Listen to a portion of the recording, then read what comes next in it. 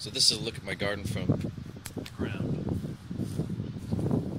It's about a little under three feet tall over there, uh, maybe a little more over there.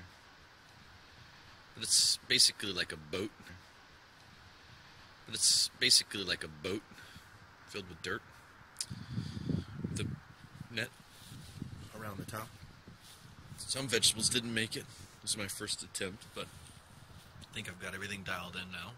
Got some habaneros over there ready to uh, harvest. Carrot that might make something. I don't know. Corn, I don't know. We'll, we'll still have to work on that. But this is a drip irrigation watering system with a couple of spray nozzles on it. Playing around with those a little bit. And this is being fed by water from the gutter system. It goes down into these two rain barrels. 50 gallons each, so 100 gallons of water right there. Of course, assuming Mother Nature wants to lend a hand. Then that goes down over to here, where we have the watering system.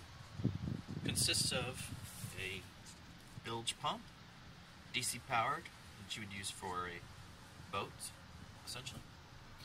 We have a timer valve that you would use to, well, do what I'm doing. Set it up so that it opens and closes correctly.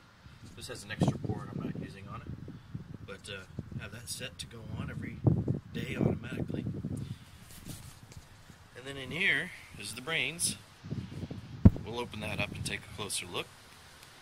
This is all powered by a nice little 12 volt solar panel. So none of this water system or electricity to run the pump, none of it's attached to the grid.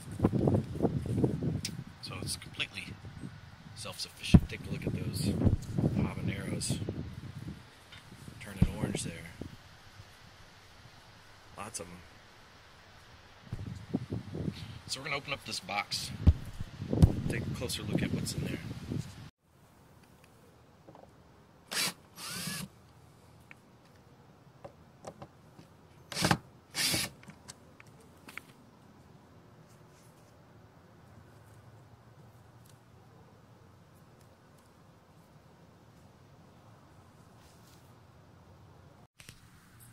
Okay, so now we have the box open. And in here, pretty simple setup. We have a timer switch. This can be programmed to automatically turn on and off, which I've done on a daily basis. And it's all powered by DC. Basically, keeps time, knows when to turn on, knows when to turn off.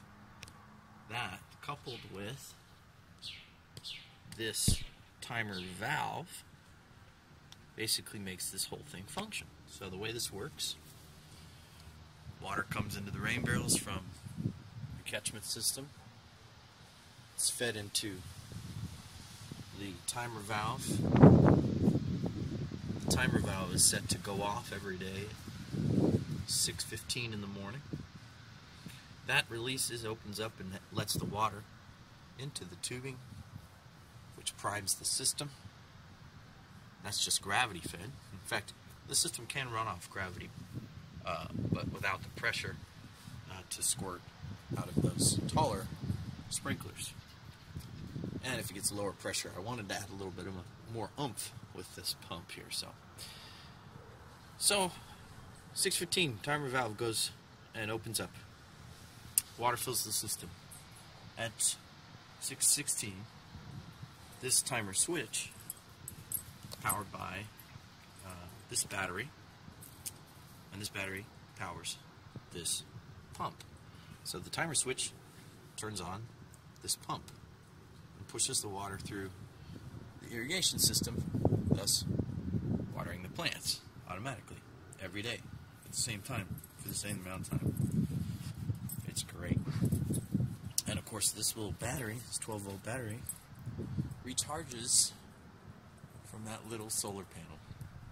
So this is a completely self-sufficient watering system for my garden. Run off the grid and with rain water. Thanks for watching.